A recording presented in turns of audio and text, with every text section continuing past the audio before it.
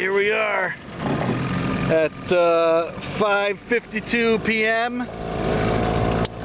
May 7th, 2010, May 5th, 2010, Good. year of our Lord. Black flies are crazy. Getting Got eat, two more hours eat- of light too. It's beautiful. eaten alive. Getting out. Lake St. George. Heading over to the small pond. Smallies. Give you an idea of the full 360 degree view. There goes the house.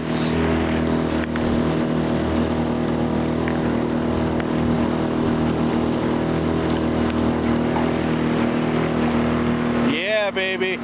Flies are crazy. The flies are unbelievable. We're gonna eaten alive. We're getting eaten, eaten alive by, by uh, black flies right now.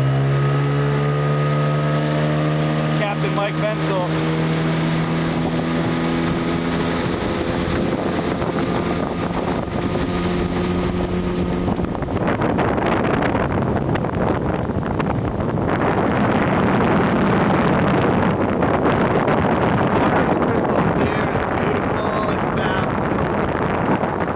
I'd say uh, 67 degrees right now.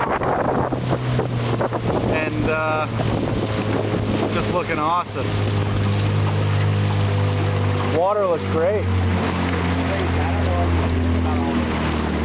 What's that? I don't know even know what to think about all this. What do you mean?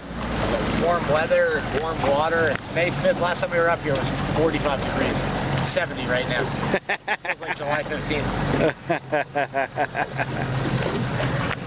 I don't remember how to get through here without crashing. All right, hang on. We, this is the tricky part, going through. Yeah, you're good. Back in the. Little left, little left, left. Those markers are where the big rocks are. You can see down. Out there in that rock The water is awesome.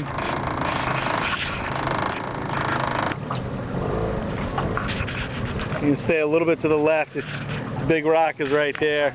This is the big rock that every, everyone crunches. Right there.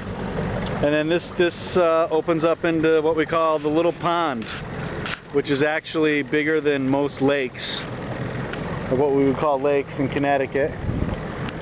This is a little area. This is usually all filled. This whole area here is usually filled with lily pads. However, this early early in the spring, there's nothing. There's no not even one lily pad anywhere. So it's looking sweet. Well, all right, we're gonna sign off from now. We'll do some fishing.